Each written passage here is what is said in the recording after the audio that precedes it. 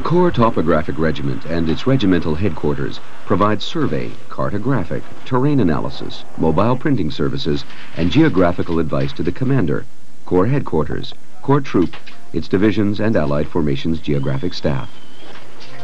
The regiment includes a field survey squadron, a cartographic squadron, a geographic support squadron, and an administrative squadron. The Field Survey Squadron provides precise positional data using conventional, satellite, or inertial survey methods. Yeah, that was good. This information is used to support navigation systems, for map and chart production, to locate various theater and Corps weapons systems, including air defense guns, radars, and missiles, and for electronic warfare and directional communications equipment. The squadron deploys survey detachments to bring accurate grid survey forward from the theater area to the division rear boundary. The function is then taken over by the survey troops of the division target acquisition batteries and brought down to regimental rocket and gun areas. Survey activities are built upon an existing survey database, which includes a framework of known control points that have been established in a theater of operations. This framework is extended into the new area of operations and is used as the basis of all continuing survey activities. Control points are normally established by field survey teams using theodolites and electronic distance measuring devices. They can also be rapidly fixed by using global positioning systems. The resulting raw survey data and control point locations are entered into the information bank of the Tactical Command and Control System. The cartographic squadron, from a location within the Corps rear area, provides photo or conventional line maps of the operational area. Its functions include updating, revising, overprinting and producing accurate topographical maps, mobility traces, photo maps, and special map products for specific operations. The map production process combines the control point information from the survey squadron with a series of overlapping aerial photographs. This block of controlled photography goes through a computerized triangulation process to produce a control plot. Other available data is then superimposed by the computer onto the plot. The resulting overview is compiled by computer into a contoured two-dimensional image of the terrain. A three-dimensional view of a piece of ground can be constructed. A plotter then produces the matrix, which, in turn, is used to print the map.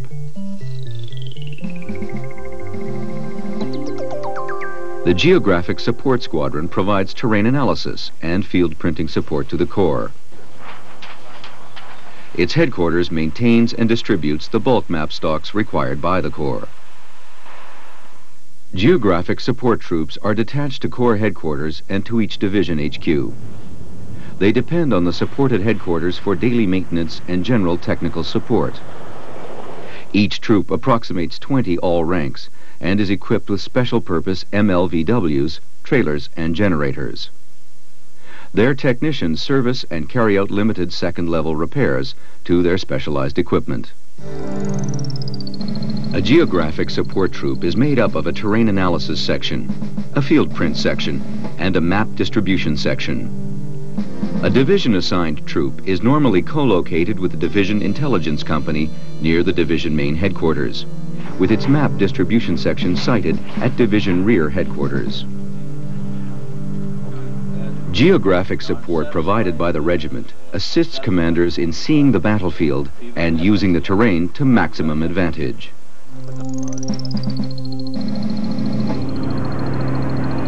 The Terrain Analysis section produces evaluations concerning the effects of terrain on operations by processing all available information produced by collection agencies. It provides advice to commanders and to staffs to assist in the developing of tactical and supporting plans. The section works as a part of the Division Intelligence Collection and Analysis Center, and it deploys a representative to the Division Engineer Headquarters. The field printing section presents information to the user by updating older maps and by printing tactical terrain analysis overlays. It also produces map and air photo enlargements, reductions, and overprinting, tactical traces, and overlays.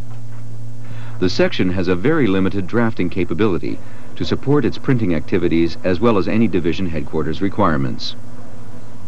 It receives taskings from the Division G3 staff and the ICAC.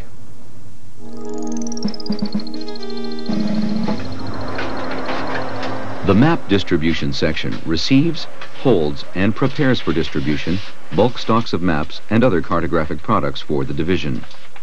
It also provides for the needs of the field print section.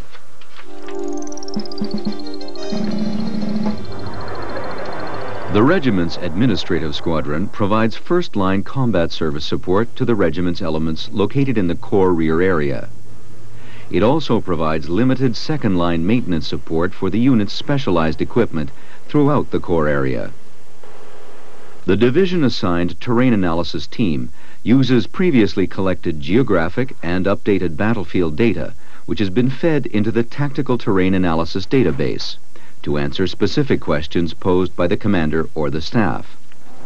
The computer analysis utilizes six terrain factor overlays, showing slope, soil, surface drainage, vegetation, obstacles and transportation routes, to help answer queries on observation, fields of fire, obstacles, key terrain, cover and concealment, avenues of approach, mobility corridors, and the like, within an area of operation.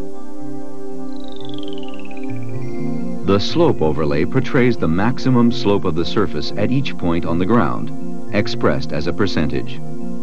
For example, area D equals a 15 degree slope. Data from this overlay is used to assess slope limitations of any planned locations, such as roads, cross-country routes, airfields or landing zones, and the suitability of river crossing sites. The soil overlay shows the type and condition of the surface soil. The first two letters indicate the surface material, and the third indicates its roughness. Dots and or dashes indicate dry, moist, or wet soils. This information is useful for engineers when planning construction or repairs of roads, trails, airstrips, etc., and is vital to terrain analysts performing cross-country movement studies. The surface drainage overlay portrays water that will have an effect on the battlefield. Lakes, ponds, and reservoirs are shown as open bodies of water. Rivers, streams, canals, and ditches are defined using a nine-digit code to indicate the type of feature, gap width, bottom materials, height, and slope of the banks, average water velocity, and depth. This information is valuable to engineers planning river crossing operations and the siting of mines and other obstacles. The vegetation overlay provides detailed information on average tree diameter and spacing, including the vegetation roughness factor on the forest floor. It divides vegetation into categories of tactical significance. Coded letters and numbers indicate types and density of ground vegetation, canopy closure, and tree height. This information is used by terrain analysts in trafficability studies to calculate line-of-sight information for communications, surveillance and target acquisition planning, and to provide cover and concealment information for survivability. The obstacle overlay portrays linear terrain features that form natural and man-made obstacles, some of which are not readily identifiable on a topographic map. All obstacles shown are over 1.5 meters high and longer than 250 meters. These include, amongst others, escarpments, embankments, depressions, road and railroad cuts and fills, fences, walls, and other micro-relief features.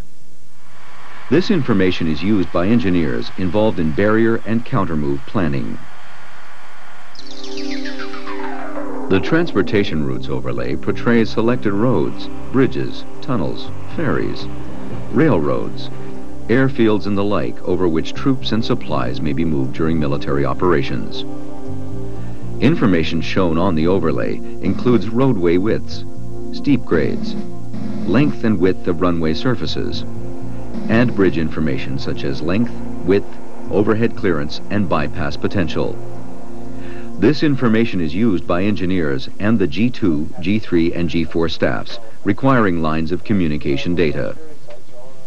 Data from these six basic neutral factor overlays can be combined to produce a tailored trace in response to a specific staff requirement.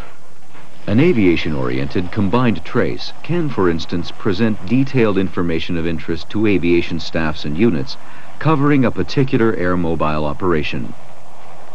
A different combined trace can present to the G3 staff going information pertaining to the link-up phase of the same operation.